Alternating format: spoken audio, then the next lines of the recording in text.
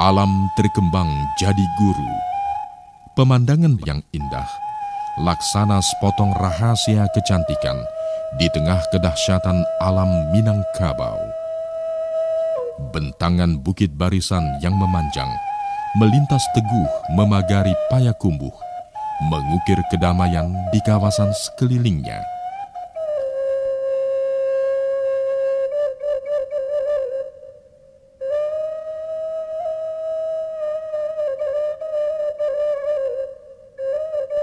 Tampak jelas tebing-tebing curam di lembah Ngarai Sianuk, juga lembah Harau yang indah, seakan mengirim kedamaian dan ketentraman.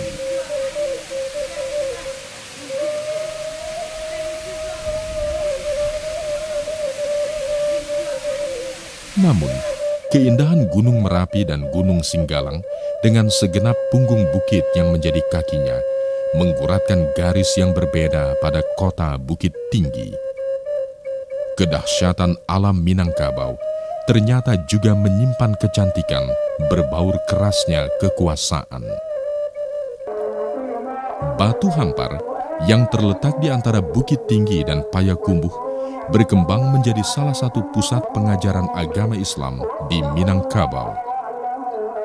Ulama besar Syekh Abdurrahman seorang pemimpin gerakan tarikat Islam, membuat nama Batu Hampar menjadi terkenal karena suraunya.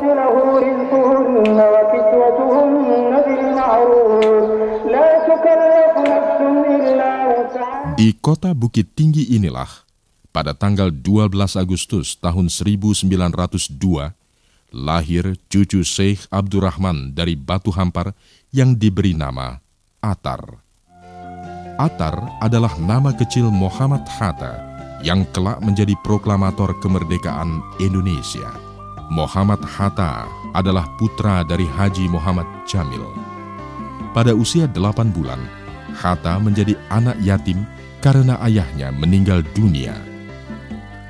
Hatta dibesarkan oleh ibunya, Saleha, dan mendapat pengasuhan yang baik, terutama sejak ibunya menikah kembali dengan Haji Ning, seorang saudagar kaya dari Palembang. Hatta kecil tumbuh dalam lingkungan keluarga ulama pedagang. Secara ekonomi, keluarga Hatta cukup mapan. Demikian pula dalam kehidupan sosial, memiliki status yang tinggi. Kepribadiannya terbentuk dari perpaduan antara pengajaran agama yang kuat serta keterampilan berniaga yang diwariskan oleh keluarganya masa kanak-kanaknya diwarnai dengan pendidikan agama yang ketat. Sejak semula, keluarga Syekh Abdurrahman mempersiapkan Hatta menjadi pemimpin surau Batu Hampar. Bahkan, telah disiapkan rencana mengirim Hatta yang masih kecil memperdalam pendidikan agama di Mekah atau di Kairo, Mesir. Namun, ada keberatan dari pihak keluarga ibunya seperti dituturkan kepada Deliar Nur yang menulis biografinya, Hatta akhirnya mengeluarkan sebuah jalan tengah karena sebelumnya terjadi tarik-menarik antara keluarga ayahnya dan keluarga ibunya. Dia berjanji karena ada sebagian dari keluarganya dari kalangan turunan Syekh Abdurrahman ini mengendaki supaya Hatta bisa menggantikan kakeknya kalau sudah besar. Jadi ada rencana membawa dia ke Makkah, kemudian ke Mesir. Tapi pihak keluarga ibu kurang setuju karena Hatta masih dianggap sangat kecil. Akhirnya Bung Hatta melanjutkan ke sekolah Belanda, Milo di Padang, Prince Hendrik School di Jakarta, dan kemudian ke negeri Belanda. Tapi Bung Hatta kecil ketika itu sudah berjanji kepada keluarga kakek bahwa dia akan tetap berpegang kepada ajaran Islam. Pada tahun 1913, Hatta menempuh pendidikan Europäische Lagere School di Bukit Tinggi. Beruntung bagi Hatta, ia berkesempatan memasuki lembaga pendidikan yang hanya diperbolehkan untuk orang Eropa dan kaum timur asing yang terpandang karena status sosial yang tinggi dari keluarganya. Saat itu, masyarakat Bukit Tinggi mengetahui kakek Hatta adalah orang yang kaya dan memiliki sejumlah bendi yang disewa pemerintah kolonial untuk mengantarkan surat-surat pos.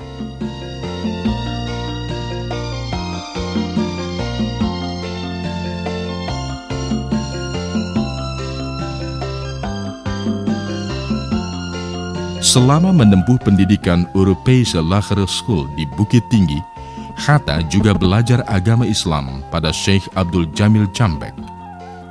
Dasar-dasar ilmu agama yang kuat membentuk Hatta hingga tumbuh menjadi anak yang rajin, disiplin, serta taat aturan. Hatta juga menunjukkan jiwa kesatria dengan bersedia menerima hukuman jika dianggap salah. Datu Oya, pemimpin surau Batu Hampar yang juga masih keluarga Hatta, memiliki cerita menarik tentang Hatta kecil yang penuh disiplin. Beliau adalah beliau seorang yang keras hati. Pernah beliau Bukit Tinggi dihukum oleh orang tuanya. Dibuat garis di bawah batang pohon, di muka itu buat garis. Kau tak boleh pergi bergerak dari garis ini. Hanya garis di, di tanah. Maka beliau tidak gerak. Berjam-jam akhirnya dipanggil lari suruh suruh uh, main dar lagi. Begitu dia kalau dia dihukum ang tak boleh lari kata jawabnya ah, ang siku saja. Cara lah. Enggak. Begitulah keras hatinya. Nah, beliau itu nampaknya seorang yang tegas dan keras hati. Ini adalah benteng Fort de Kock di Bukit Tinggi yang merupakan salah satu tempat kesukaan Hatta untuk bermain. Dari atas benteng, Hatta bisa menyaksikan kawasan Bukit Tinggi dan sekitarnya. Dari benteng ini pula, Hatta menyaksikan potret suasana kolonial di kota Bukit Tinggi, sebuah kota yang sejak akhir abad ke-19 menjadi pusat pemerintahan kolonial Belanda terpenting di Sumatera. Masa kanak-kanak ini juga menandai lahirnya watak anti-kolonialisme dari Hatta. Watak itu terbentuk setelah menyaksikan pamannya dihukum pemerintah kolonial hanya karena mengkritik seorang pejabat Belanda yang dinilai bertindak tidak patut lewat artikel yang ditulisnya. Tahun 1977, Bung Hatta pernah menuturkan pengalamannya yang membekas itu pada sebuah stasiun televisi Belanda. Van mijn, ik geloof een neef nog van mijn grootvader. Een gewoon handelaar in bosproducten wordt hij opgepakt. En gestuurd naar Padang. Ik heb hem zien voorbij gaan. Voor mijn huis was toen liep de, de spoorweg. Nu nog, mijn thuis bestaat niet meer. Uh, toen op, zat ik een brugje te, te zitten. En dan zien hem nog voorbij rijden naar Padang. En dat is mijn eerste ervaring, koloniale ervaring.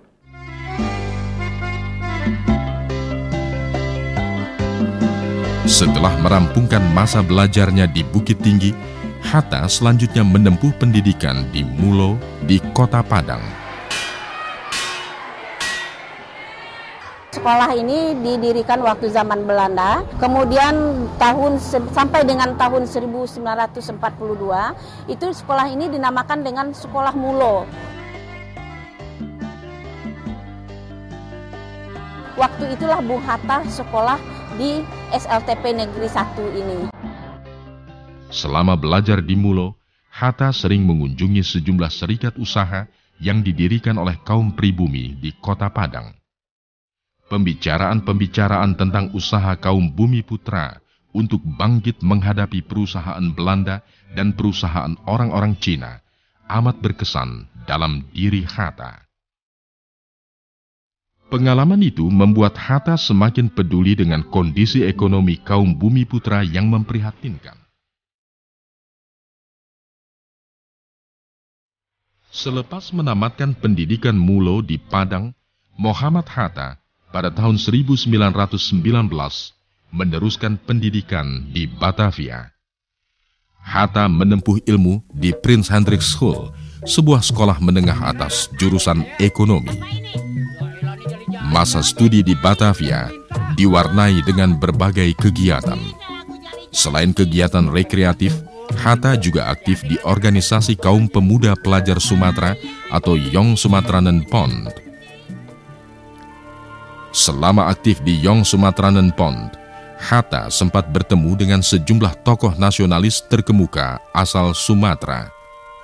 Menurut Hatta, yang paling berkesan adalah perjumpaannya dengan Abdul Muiz dan Haji Agus Salim, dua tokoh pergerakan kemerdekaan yang juga aktivis Sarekat Islam. Ceramah kedua tokoh penentang keras penjajahan Belanda itu amat membekas di hati Hatta.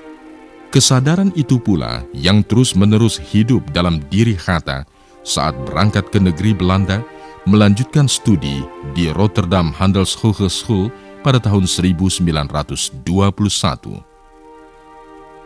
Di negeri Belanda, Hatta bersama sejumlah mahasiswa Indonesia aktif dalam Indische Vereniging, sebuah organisasi yang menghimpun pelajar Hindia Belanda. Secara resmi pula, pada tahun 1924, Indonesische Vereniging berubah menjadi Perhimpunan Indonesia. Nah, ini penting ya. Kata Indonesia memang diambil oleh Hatta dan kawan-kawannya sebagai konsep antropologi yang diperkenalkan oleh dua orang ilmuwan Inggris.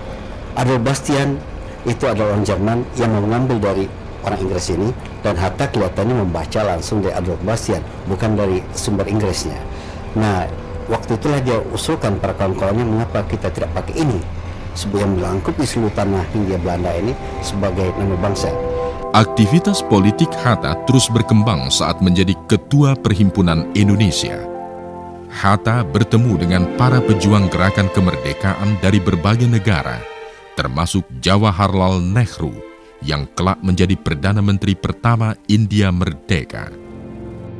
Pemikiran Hatta tentang sosialisme dan demokrasi mengalami pematangan pada periode ini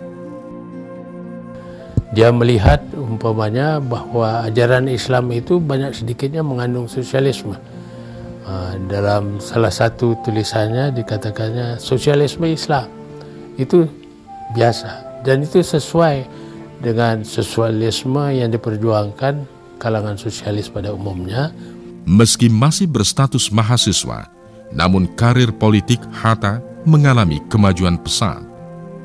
Artikel-artikel Hatta tentang kewajiban pemerintah Belanda memerdekakan Indonesia yang dimuat dalam majalah Indonesia Merdeka terbitan Perhimpunan Indonesia mengundang simpati berbagai kalangan, tidak terkecuali kalangan dalam masyarakat Belanda sendiri seperti Partai Sosial Demokrat Belanda dan Partai Pekerja Belanda.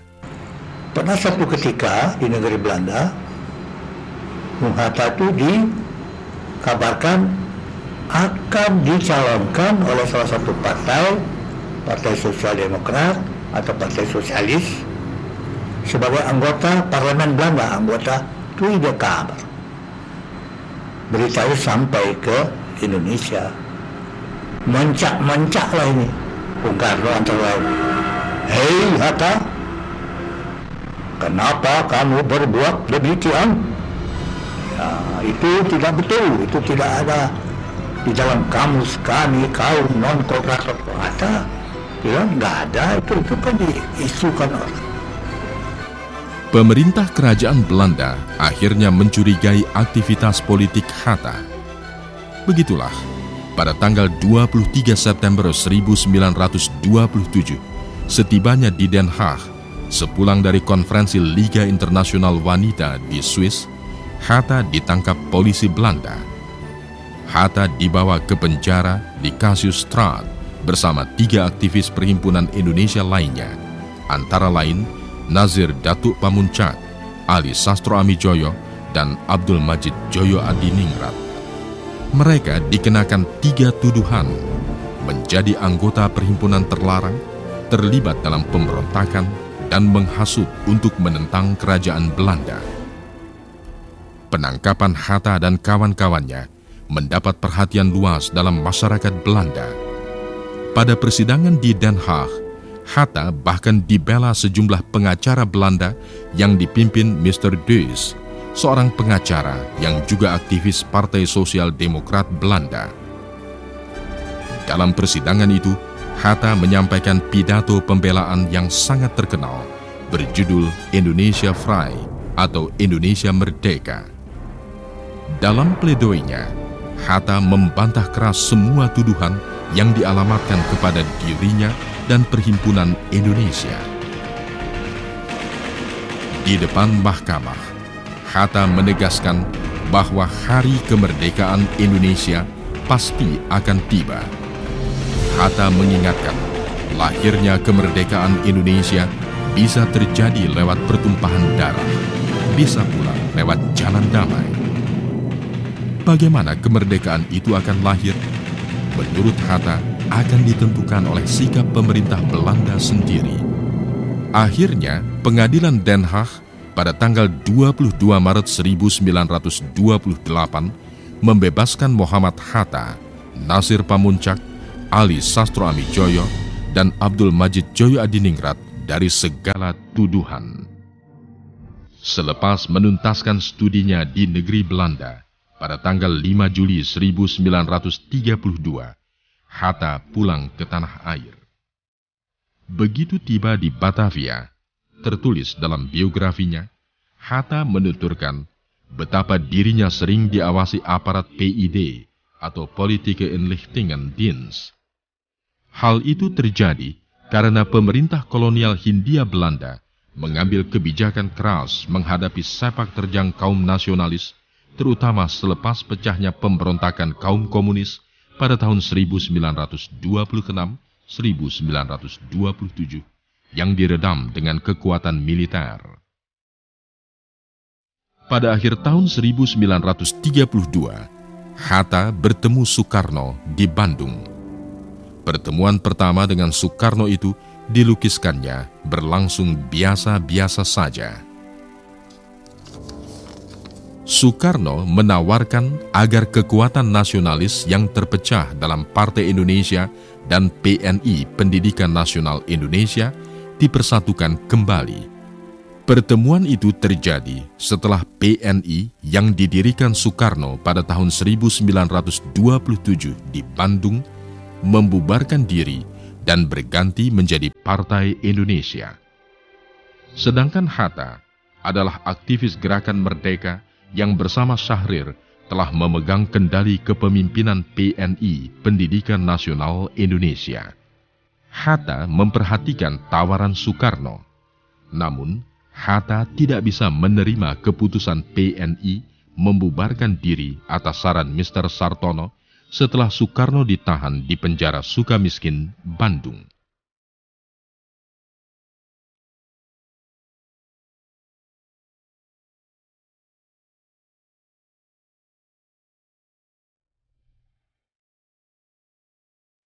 Langkah itu, menurut Hatta, menghilangkan kepercayaan rakyat kepada PNI sebagai partai pembimbing massa. Hatta juga berbeda pendapat dengan Soekarno soal sikap non-kooperasi dengan pemerintah Hindia Belanda. Hatta akhirnya menolak ajakan Soekarno dan memilih tetap memimpin PNI Pendidikan Nasional. Hatta selanjutnya memperkenalkan metode perjuangan partai kader sebagai alternatif dari metode partai massa yang diterapkan Soekarno dalam PNI. Banyak sedikitnya bagaikan ikut dengan PNI Bung Karno. Tetapi dia seorang yang kritis. Bung Karno itu merakyat dalam arti dia menggalang kekuatan rakyat. Tapi kekuatan rakyat yang digalangnya itu bagaikan terbatas pada rapat-rapat umum. Nah, di situ memang banyak rakyat datang dan Bung Karno membangkitkan semangat. Bung Hatta pendekatannya lain, diperlukan kaderisasi. Tokoh PNI Ruslan Abdul Ghani termasuk generasi yang menyaksikan tur kampanye Bung Hatta itu pada waktu Bung Hatta sudah datang di Jakarta mendirikan PNI PNI-nya Bung Karno namanya Partai Nasional Indonesia Bung Hatta Pendidikan Nasional. Beliau datang ke Surabaya. Jadi pada waktu itulah saya mendengarkan sendiri dari jauh rapat-rapat tentangannya Bung Hatta. Kesan saya, Bung Hatta itu sama dengan Bung Karno, yaitu mempunyai gagasan yang sama, tidak mau bekerja dengan kolonialisme. Sebagai tokoh non-kooperasi, Hatta bereaksi keras ketika Soekarno ditangkap polisi Hindia Belanda pada tanggal 31 Juli 1933. Apalagi menyusul penangkapan kali kedua itu, nasib Soekarno tidak bisa ditentukan karena akan mengalami pembuangan di ND. Hatta menyadari sepenuhnya penangkapan Soekarno sebagai pemimpin yang terkenal dan dicintai rakyat akan sangat merugikan gerakan kemerdekaan namun Hatta mengingatkan bahwa itulah resiko perjuangan. Ia kemudian menulis dalam Daulat Rakyat, tragedi Soekarno merupakan pelajaran pahit bagi masa depan gerakan kemerdekaan. Nah, Bung Karno memang lebih suka dengan mass forming, menentukan gerakan massa. Nah, Hatta mengatakan tidak begitu. Sebab kalau itu yang terjadi, satu pemimpin hilang, kita tidak punya pemimpin lagi. Dan dia sangat terkesan dengan dengan peristiwa ketika Bung Karno ditangkap tahun 29 atau 20, 30 dan diadili dia PNI membuarkan dirinya dan Hatta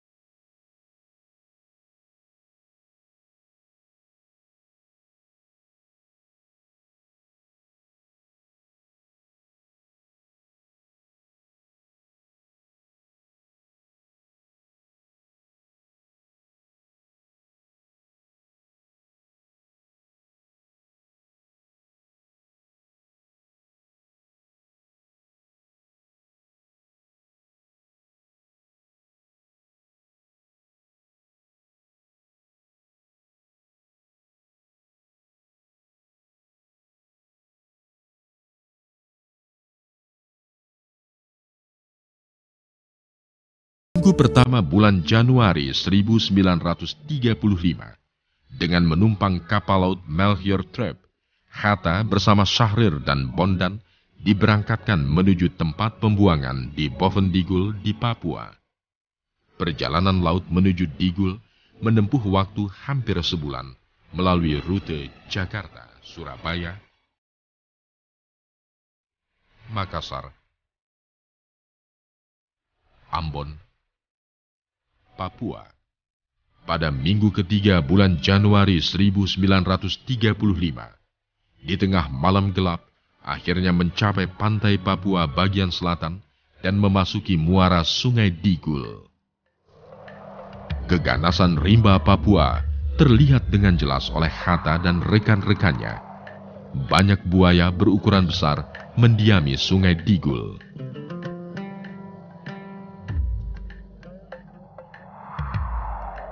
Perjalanan menyusuri Sungai Digul menuju lokasi pembuangan di Tanah Merah memerlukan waktu seharian penuh.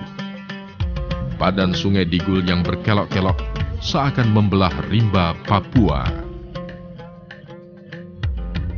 Pada tanggal 28 Januari 1935, setelah melalui ratusan kelokan, akhirnya kapal polisi Albatros mencapai hulu Sungai Digul dan mendaratkan Hatta serta para aktivis yang dikenai hukuman pembuangan. Meskipun pemerintah kolonial Hindia Belanda lewat Van der Plas pernah mengatakan lingkungan Digul cukup baik, namun fakta menunjukkan Digul merupakan sarang penyakit malaria. Banyak kaum buangan yang sakit, banyak pula yang meninggal di Digul. Sel bawah tanah yang gelap ini merupakan ruang penjara yang kerap dihuni para digulis yang menolak bekerja sama dengan kolonial Belanda. Hatta menerima keputusan pembuangan atas dirinya itu dengan lapang dada. Bahkan, Hatta bersama Syahrir masih mampu meneruskan kegiatan kaderisasi selama pembuangan di Bovendigul. Tapi saya tidak tahu pasti mengapa Bung Karno hanya dibuang ke ND dan Hatta mungkin juga karena Hatta dan Syahrir belum berkeluarga jadi mereka tidak perlu sedangkan Bung Karno sudah punya keluarga itu juga mungkin ya cara berpikir Belanda kita tidak tak tidak tahu benar ya. Keputusan politik pemerintah Hindia Belanda membuang Hatta dan Sahrir ke Bovendigul ternyata mendapat protes keras dari sejumlah kalangan di negeri Belanda sendiri. Partai Buruh dan Partai Sosial Demokrat Belanda memprotes keputusan pembuangan tanpa proses pengadilan itu. Jadi uh, waktu rakyat dan anggota DPR Belanda mendengar bahwa Hatta Sahrir sakit keras gara-gara dibuang di mana di Bovendigul itu ada kampanye dari DPR Belanda dari buruh ya Partai van Arbeid yang memprotes kepada pemerintah Belanda bahwa wah tuan-tuan terpelajar Indonesia ini dibuang di Digul ini rupanya pelan-pelan mau dimatiin sama mau dikasih mati sama Belanda. Akhirnya pada bulan Januari 1936 Hatta dan Sahrir dipindahkan ke Pulau Banda Neira di Maluku Tengah.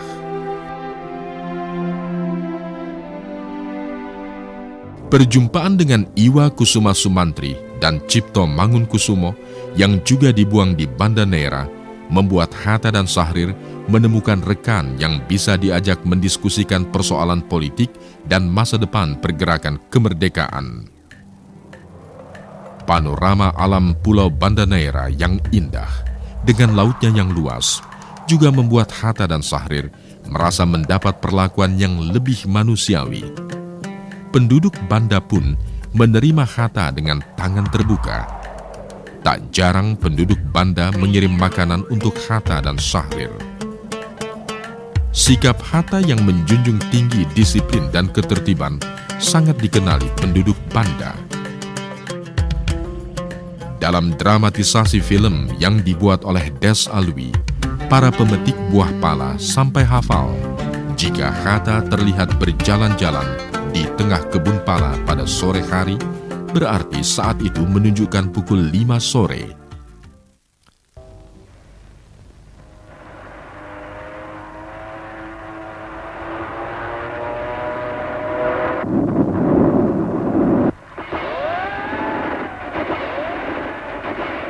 Pada tanggal 8 Desember 1941, Jepang membom pangkalan militer Angkatan Laut Amerika Serikat di Pearl Harbor sekaligus memulai Perang Pasifik.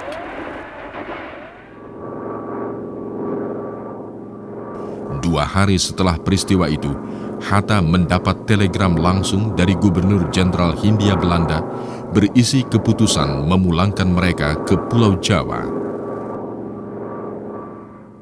31 Januari mendaratlah kapal terbang Catalina yang dikirim dari Jakarta ke Ambon untuk jemput. Tapi sampai di Ambon mereka dihantam sama Jepang ya. Ada lubang-lubang di dalam pesawat. Lalu pesawat itu tiba jam uh, eh, 6.30 pagi. Lalu kita diperintahkan harus siap-siap jam 7 harus take off Pemindahan para tokoh utama gerakan kemerdekaan itu dilakukan untuk mengantisipasi meluasnya pengaruh politik Jepang di tanah air. Pemerintah Hindia Belanda selanjutnya menahan Hatta dan Syahrir di Sukabumi, Jawa Barat dengan harapan agar keduanya tidak dijadikan alat propaganda militer Jepang. Namun, pemerintah Hindia Belanda pada tanggal 9 Maret 1942 menyerah tanpa syarat kepada militer Jepang. Hatta dan Syahrir akhirnya dibebaskan oleh penguasa militer Jepang dan dirangkul untuk memperkuat propaganda perang Asia Timur Raya.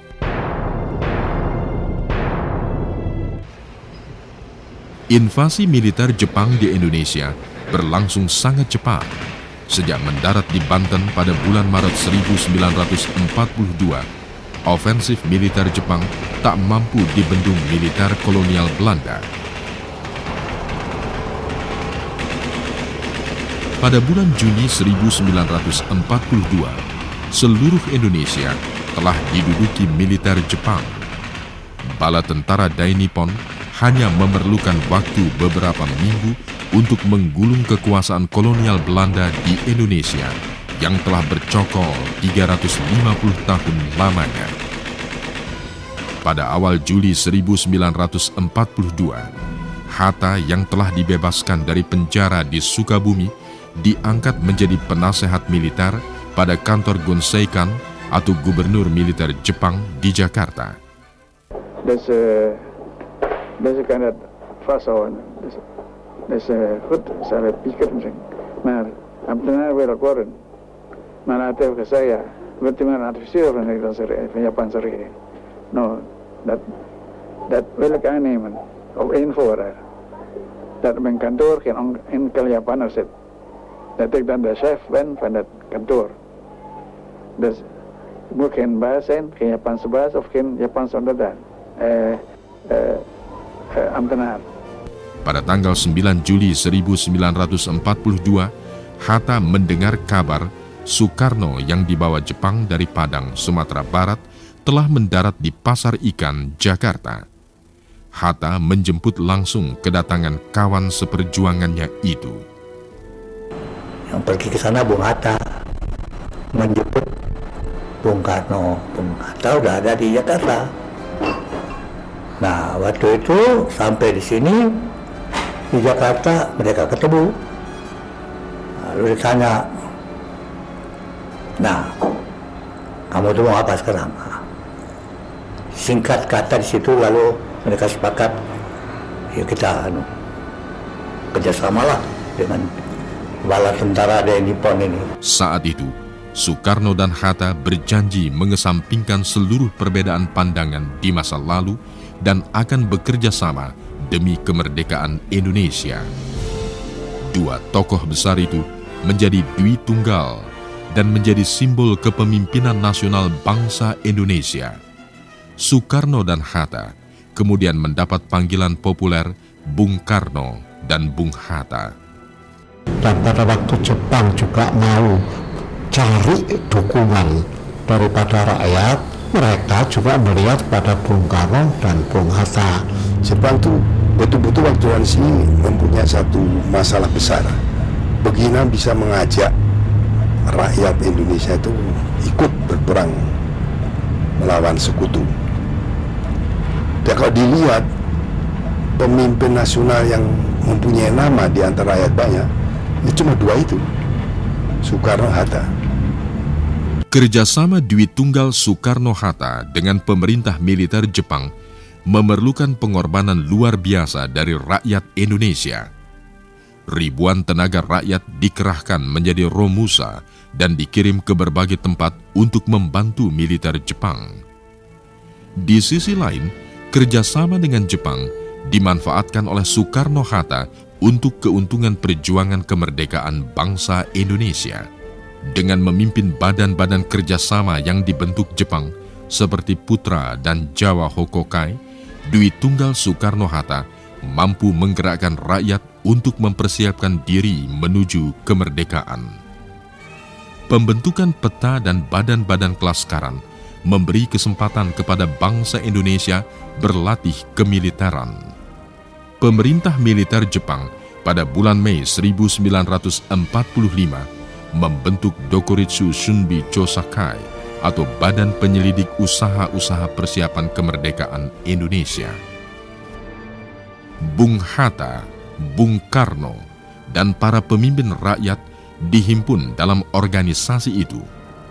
Dalam badan yang diketuai oleh Dr. Rajiman Widyo di Ningrat itu, Bung Karno menguraikan dasar negara Pancasila.